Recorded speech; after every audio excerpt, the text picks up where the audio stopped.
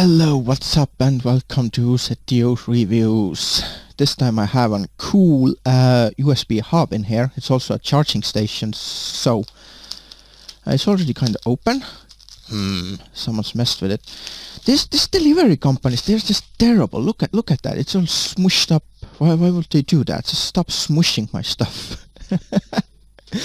that reminds me of one of the FailArmy videos where um, these uh, delivery guys, I think it was Royal Mail, uh, where they scared each other and the guy who was outside, actually it was a girl who was outside with a package and she like just and dropped it on the floor on the ground.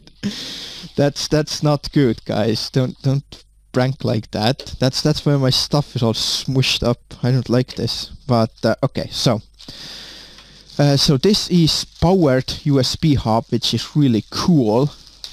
Ow. Let's open this up. We have Aukey sticker in here, the famous Aukey sticker. I keep showing them every time. It's like a key thing in here, see? Like comes out from here, see? Aukey, get it? And it's like this from here.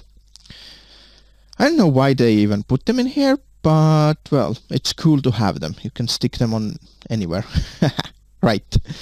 So the hub itself is like that. I like this material. This is really nice. That's like rubbery um, kind of thing. See,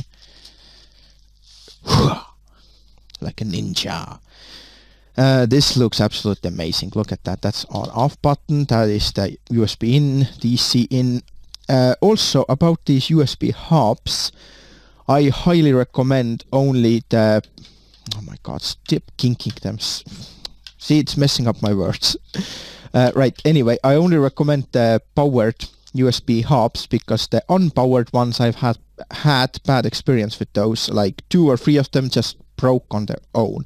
But the powered ones like this, like where it's DC in specifically, these are really good. So we have seven ports, I believe. One, two, three, four, five, six, seven. Yes, and one, two, three charging ports. See, these are green, the charging ports uh, what does it say 2.4 um, 2.4 amps uh, maximum that's that's a lot of power wait 2.4 at 5 uh, 5 watts that's about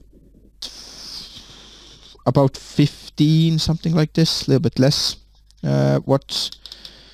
Well that's that's more power than you need in any of the USB devices so that's a lot. Uh, so it has 4 watts at no milliampere hours wait what uh, that's 4 amperes. Yeah that's 4 amperes then. I don't know why it's 4000 milliamperes. That's 4 amperes. Uh, for 12 watts that is um, 4 by 12 that's 12, 48 48 watts. So it's not actually that much. Yeah it's not that much actually. 48 watts of power. But well that is the case anyway, so uh, did, did I do the math correct? Yeah, I did. So that's how much power this gives. And it comes with USB cable, obviously. See, I have a power bank in here, so I'm gonna power this one from here and see if anything happens. Uh, no, it needs power. Oh, whoops.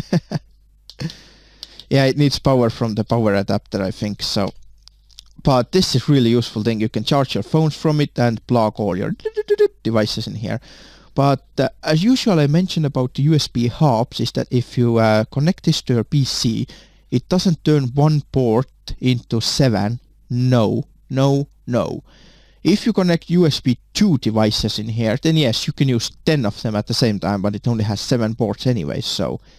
But if you use the USB 3 devices, then you can still use only one at a time, because uh, USB bandwidth for the USB 3 it's still same it doesn't turn the bandwidth of one port into seven ports I hope this makes sense it's basically like if your internet is like uh, 10 megabits per second and you connect like uh, 10 computers to it, to your router, to your internet, then it doesn't mean that each computer has 10 megabits per second. It means that only the incoming has the speed. I hope this makes sense. So uh, I'm mentioning it because a lot of people are plugging those things in and then they put everything in their PC into the hub and then they're wondering why it's not working. Well, the bandwidth runs out, that's why it's not working.